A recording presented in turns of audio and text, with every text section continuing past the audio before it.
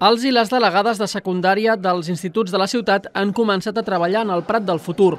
Ho han fet a través de propostes de millora de la ciutat en el marc de la redacció de les agendes 2030 i urbana del Prat.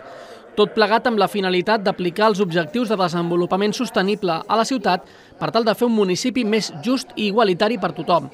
I és que l'Agenda 2030 és una iniciativa de les Nacions Unides que té com a objectiu millorar la societat arreu del món amb polítiques que fomentin un futur més sostenible i on la pobresa, la fam i la violència es vagin reduint cada cop més. El que podríem dir que és una representació de tots els països del món, que són les Nacions Unides, van establir doncs, aquests 17 objectius de desenvolupament sostenible per tal de eh, que la civilització, no? que el món, que la humanitat vagi en un bon camí, no? reduint desigualtats, acabant amb la fam, bueno, tot això, eh, fent comunitats sostenibles, eh, tenim molta cura per l'entorn, doncs eh, a partir d'aquí, eh, si acceptem està plenament acceptat, encara que hi ha algun, algun negacionisme polític, eh, si acceptem que aquesta és la línia per treballar per millorar el món, doncs el que hem de fer doncs, és adaptar-nos i aterrar aquests objectius a les nostres comunitats locals, les nostres ciutats. L'agenda urbana és la forma de traslladar aquests objectius de desenvolupament sostenible a la ciutat i l'Ajuntament vol escoltar la veu de la ciutadania a través de diversos processos participatius. Aquest procés eh, participatiu, que és, que és molt intens i que s'està fent en molts col·lectius, doncs eh, s'acabarà eh, plasmant en aquest, aquest document, en aquesta realitat que seran les agendes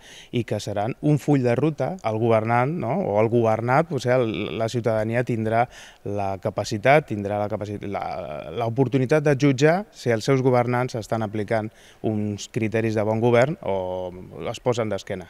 I en el marc d'aquesta participació, l'alumnat ha fet propostes a través de tallers que després s'incorporaran al procés de redacció de l'agenda. L'objectiu principal és tenir, tenir la veu i la, i la participació directa del present i futur de la nostra ciutat com són els joves. I jo crec que fer-ho a través dels delegats de, de classes, delegats verds, liles i els consellers i conselleres d'adolescència que també estan participant avui aquí, crec que és una oportunitat de tenir una representativitat força diversa del que, del que representen els joves de la, de la nostra ciutat i que a més ells recullin moltes de les propostes o també puguin fer, eh, fer d'orelles però també d'altaveus de tot el que avui treballaran aquí. Per tant, ajudar-nos en aquesta agenda 2030 que és imprescindible per un futur al final més sostenible, més digne i més igualitari per totes. Una participació que pretén que l'alumnat s'involucri en les polítiques de ciutat del futur. És millor per a la gent, o sea, és millor per al món.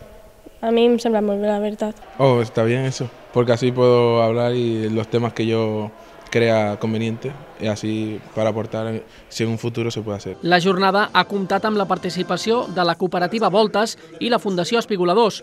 Aquesta setmana acaba el procés de recepció de propostes per la redacció de les agendes. Encara les podeu enviar de forma online o a les taules informatives que s'instal·laran a diversos punts de la ciutat i que podeu consultar al web que apareix en pantalla.